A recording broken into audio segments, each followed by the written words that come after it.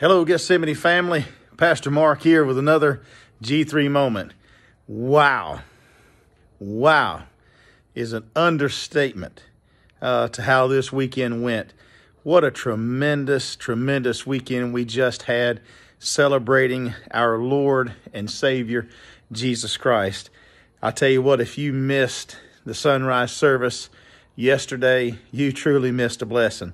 Uh, just wonderful uh, just to see everybody there so early in the morning, so ready, so eager uh, to worship God and just praise Him and love on Him uh, for uh, all the wonderful things that He has done for us. So, man, just excited about it, and and um, uh, in my mind, probably one of the uh, one of the best sunrise services that uh, I've ever been a part of, and certainly in, in, in recent years. So, uh, just really had a wonderful time with everybody yesterday, and uh, just, gosh, can't say enough about you know all the uh, interpretive movements and uh, just the worship team, and um, you know just the the anointing and the presence of God uh, that was in in the house yesterday, and and how can you beat such a wonderful service, and then end it with a fresh sausage biscuit from Hardee's at the end.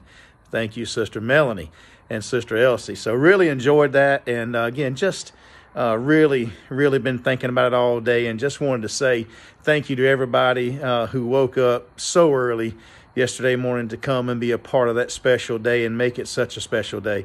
Uh, so just really enjoyed that.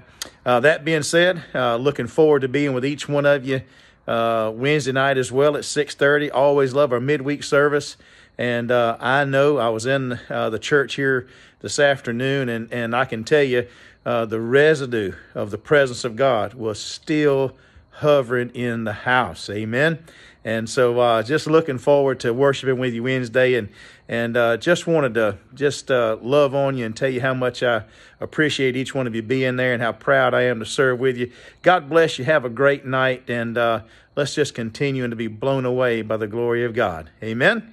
God bless.